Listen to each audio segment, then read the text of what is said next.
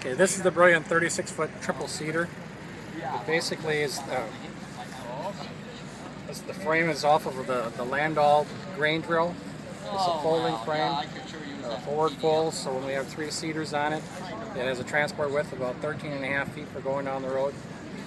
Each seeder is mounted independent on a floating hitch so it can follow the contours of the ground.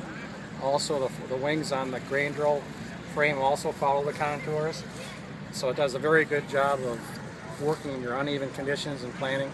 Basically there's three separate 12 foot Brillion seeders attached to the drawbar and each one runs its own electric clutch.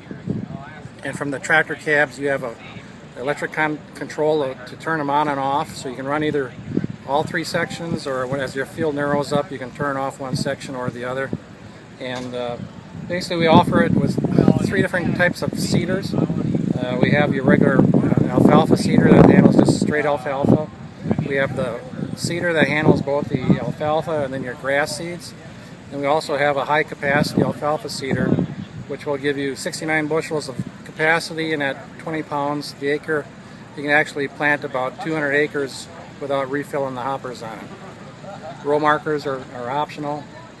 The basic unit uh, runs around $100,000 as far as the list price on it. There are a few available, there'll be a few available this fall, and then there'll be more available next spring. Well, traditionally in the dry years that we've had, 88 and 89 specific, we've had a lot of sales and pulverizers. Following those years, also a lot of seeder sales as a result of you know farmers trying to reestablish stands, uh, especially on the alfalfa. When that thins out, you need to need to replace that.